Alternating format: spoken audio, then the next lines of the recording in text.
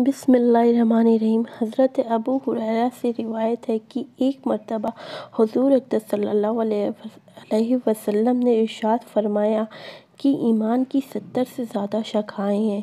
ईमान की सेवेंटी से ज़्यादा ब्रांचेस हैं। उनमें से सबसे अफजल ब्रांच वो है, ला इल्लल्लाह रसूल अल्लाह का कसरत से कहना।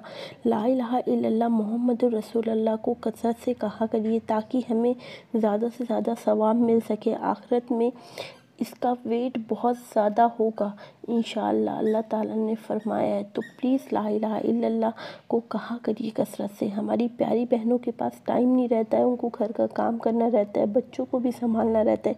तो वो ये कर सकती हैं, जब खाना पका रही हुआ करें, रोटी बना रही हुआ करें, सब्ज़ी कुक कर रही हुआ करें, तब आप ये ला मोहम्मद रसूलुल्लाह, पढ़ती रहा करें। उससे आपके खाने में भी बरकत होगी, इंशाल्लाह, और आपको सवाब भी मिलता रहेगा। और फरमाया, उसमें से सबसे अदना शाखा वो है, कोई तकलीफ़ दे चीज़ जो रास्ते में पड़ी हो, सड़क पे, रोड्स पे पड़ी हो, उसको किनारे कर देना। यानी कि सपोज़ कोई ईटा, पत्थर रोड पे पड़ा हो, उसको उठा के किनारे कर देना, ताकि जिससे किसी, कोई इंसान जाए तो उसको ठोकर ना लगे और उसको तकलीफ़ ना पहुँचे।